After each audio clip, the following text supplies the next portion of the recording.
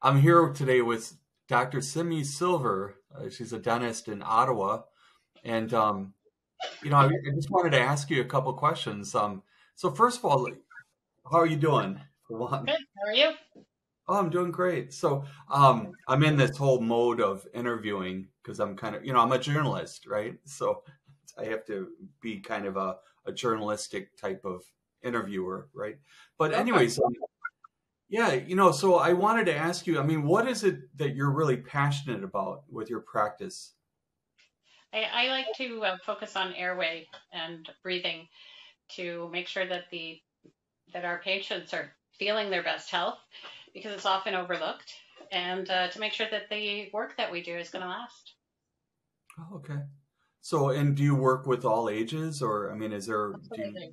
Yep, we oh, start okay. with infants, and we evaluate and release tongue ties, and all the way up to whatever age for tongue tie release and for airway management, right? So airway management sounds like what does that mean, right? But basically, it's making sure you have lots of room for air to get inside your body down your windpipe, and that has a lot to do with a lot of different disciplines. But we are the ones who are going to look in your mouth all the time and can screen for these problems. Oh, okay. So then, like, if someone, for instance, needed a CPAP machine, I mean, you would refer them, or they would, or they get a sleep study or something like that, or. So eh, we actually need to. We can't diagnose sleep apnea. That's the job of the sleep physician, oh, and because there's lots of sleep disorders, could be anything. And we can, though, with working with the sleep physician, we can order the sleep studies, recommend that they have a sleep study, and that's from our screening. I've never been told that no, you know, so usually the person actually needs the sleep study, and then once they have a diagnosis, depending on their diagnosis and uh, comorbidities, other things going on, they could have a CPAP, which would be um, delivered by a separate company, or they can see a dentist who has qualifications to be able to measure and custom make a properly titrated oral appliance for them. Okay. Now I'm I'm just curious. Moving parts, which is nice. Yeah. Really. No, has the industry? I mean, has it? Has there been any advancements? You know, in the industry as oh, far as since you know, when? Every day.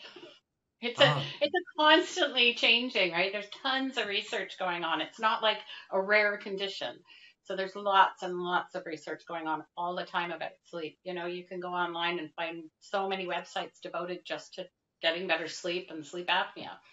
Mm-hmm. And it's it's not um, well publicized though. People don't seem to know that dentists can help you with a simple appliance, which mm is kind of blowing my mind. I'm like, I, I knew that since I was in dental school. How come not everybody knows that, right? But hey, mm not everybody went to dental school. I get it, but I just thought that was common knowledge, just like I would know about the yeah. CPAP.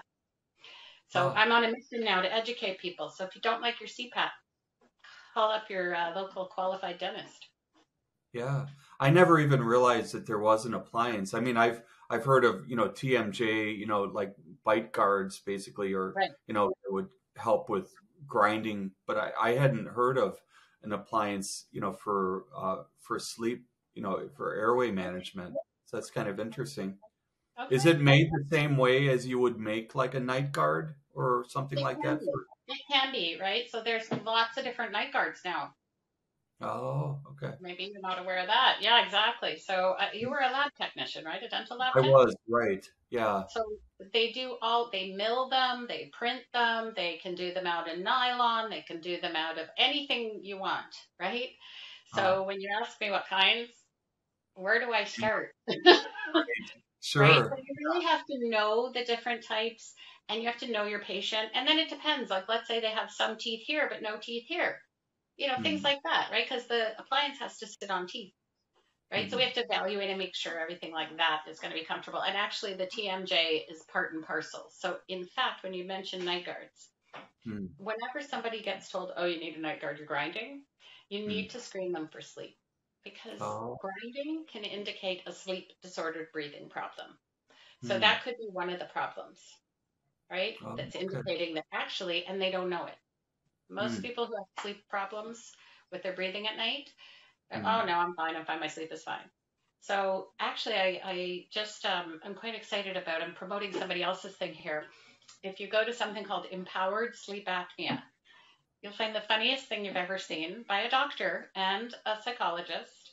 And they even have a really goofy song, Empowered, Sleep Apnea, right? I won't sing it for you because it's not any better when I do it. But they also have uh, cartoons that the doctor has drawn since, you know, probably teenage years and stuff. And he talks about exactly that, right? Because people are overwhelmed oh my God, I'm what? What do you mean I have a sleep disorder? What is sleep apnea? What's that? And then they have to wear this thing on their head.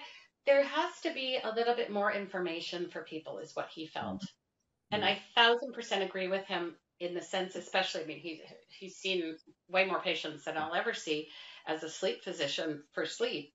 Mm-hmm. And he says the biggest problem is how to evaluate what to do. People mm-hmm. don't understand the risk. Do you understand the risk of sleep apnea even? Or even sleep well, disordered breathing? Well, I know, know that the biggest thing is the high blood pressure, right? That it causes. You know what I mean? Well, that's one thing. The mm. biggest mm. problem is that you're not taking in enough oxygen. Oh, okay. You're just not getting enough oxygen. Like one sure. of the key indicators that you have a sleep disordered breathing problem is during the night, your O2 sats will drop. Oh, right, right. Drop. Yeah. You're toxic. Yeah. You got you got problems everywhere. You got blood pressure. You got heart problems. You got everything problems. Yeah. Okay.